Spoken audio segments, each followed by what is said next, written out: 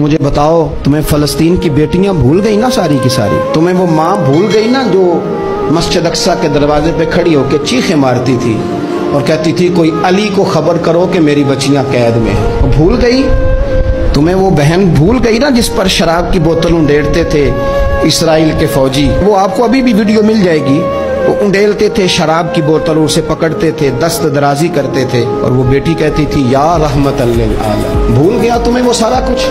तुमने एक मिनट लगाया और तुम वायदा किससे करवा रहे हो? अमेरिका के सदर से। इतना जुल्म किया तुमने, इतना कातिल के साथ मुआहदा क्या समझते हो, फलस्तीन वालों का कोई वाली वारस नहीं? सुनो, मेरे रसूल करीम सल्लल्लाहु अलैहि वसल्लम ने फरमाया, मेरा कोई मालदार उम्मती दुनिया से चला जाए, पैसे, जायदादें छोड़ के जाए तो उसकी औलाद में बांट देना। लेकिन अगर उसके जिम्मे कर्जा हो तो मेरे पास आ जाना। मैं अपनी उम्मती का कर्ज अदा करूँगा, जिसका कोई वारस नहीं होता, मदीने वाला उसका वारस होता है।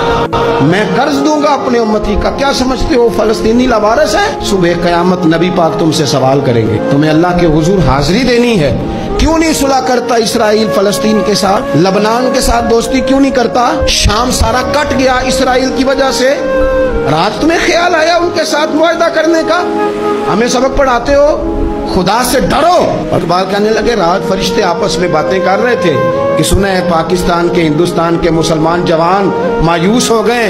कहने लगा, ना मायूस होना, निकल के सहरा से। जिसने रूमा की सल्तनत को उलट दिया था, निकल के सहरा से गर्मी देखो इस शेर की। बलबला देखो, इस मर्द का जो मुसवर पाकिस्तान है, निकल के सहरा से जिसने रूमा की सल्तनत को उलट दिया था, सुना है मैंने ये कुदसियों से, वो शेर फिर होशियार होगा। वो कल बातें कर रहे थे कि बहुत सारे उनमें से फिर जाग गए। और बड़ी जल्दी वो ब्लाक बनाएँगे। सुना है मैंने ये खुद सिरों से कि वो शेर फिर, वो होशियार होगा, वो आएगा मैदान में, निकलेगा और इन यही चराग जलेगा तो रोशनी होगी।